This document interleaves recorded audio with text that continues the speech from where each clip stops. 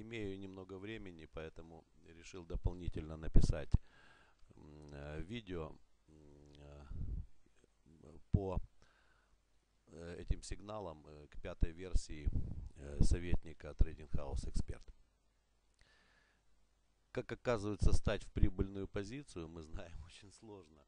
И постоять в тренде с добавлениями на каких-либо периодах достаточно сложно, поэтому пришлось сделать практически универсальную систему, которая позволяет сразу определить наличие тренда и войти в него. Вот это видео специально пишу для своего давнего коллеги из Вильнюса, пана Владыка. Он любит торговать золотом, поэтому я вот часовой диапазон открыл с нужным количеством 100, 140 баров и посмотреть на вот то, что происходит сейчас на рынке.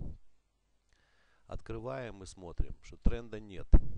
Торговать сейчас нет смысла никакого на этом диапазоне. Ни покупать, ни продавать. Обратимся ранее на график, посмотрим. Когда появился сигнал выхода пары в тренд? Вот здесь. Когда появился зеленый огонек нашего светофора на вход в. Этот уровень стал важным на предмет пробоя его вниз и исследования по тренду с добавками первой целью сюда и, и, и далее вниз. Сейчас что у нас? Этот уровень, обратите внимание, пробит не был, он, он устоял и цена отскочила и сделала обратный сигнал на покупку вот здесь. У нас вот здесь зажегся семафор о том, что мы на пробое этого уровня должны покупать опять нет пробоя. Что цена делает? Цена делает коррекцию. Берем вот такую вот волну по достигнутому хаю по достигнутому хаю и видим, что цена ударила в 61 62 э, процента уровня коррекции отскочила от него. Значит, вниз не идем и вверх не идем, идем в бок. Как же мы пойдем в бок? Смотрим. Теперь вниз была волна. Смотрим ее коррекцию. Вот это тоже была волна. Смотрим коррекцию. Сейчас достигнут уровень 50%. Выше 62%. Что мы видим? Мы видим, бьются хаи. Вот здесь фракталы. И э, это уже сигнал. Мы имеем каждый новый хай выше предыдущего, каждое новое ло ниже, э, выше предыдущего. Это определение тренда, написанного сто лет назад. А, но тем не менее этот тренд, он зажат в линиях и уровнях Фибоначчи. 50% коррекции дальше вниз, либо пробиваем этот уровень, делаем здесь фрактал, и тогда вверх уз, узкий рынок, мы пробиваем узкий коридор и идем э, в, очевидно, в третью волну. Почему в третью? Смотрю.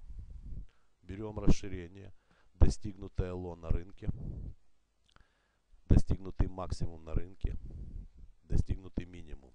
Куда мы идем в третью волну? Сначала мы идем на 100% от волны, далее мы идем на 161% вверх на этом диапазоне.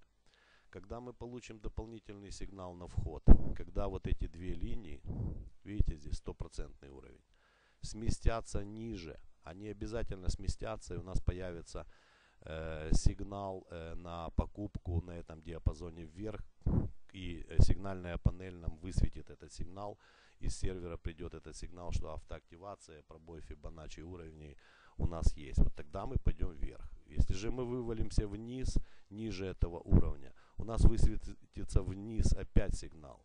И у, и у нас появится на этом диапазоне тренд вниз. И тогда мы будем строить наши цели следующим образом. Отсюда – сюда, по достигнутому максимуму сюда, и мы пойдем вниз уже вот сюда. Вот и все. Сейчас мы не торгуем.